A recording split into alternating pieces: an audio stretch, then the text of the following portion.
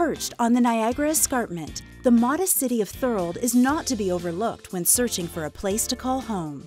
Just 15 minutes from Niagara Falls, this city sprawls over 21,000 acres, meaning there is a lot to discover by walking the many trails, biking along the Welland Canal, and exploring the many parks in the area.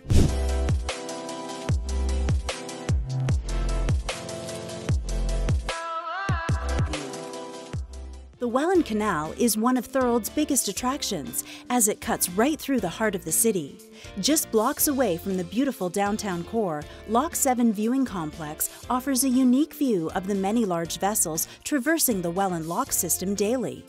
Every March, thousands of visitors flock to the viewing area to witness a mountaintop ceremony celebrating the first ship traveling through the canal in the spring.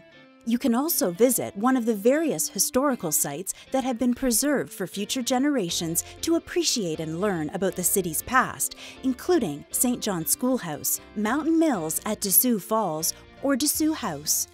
With so many interesting sites nearby, Thorold is ideal for anyone wanting to live in a small city with a proud heritage, which also has access to the various amenities that the Niagara region has to offer.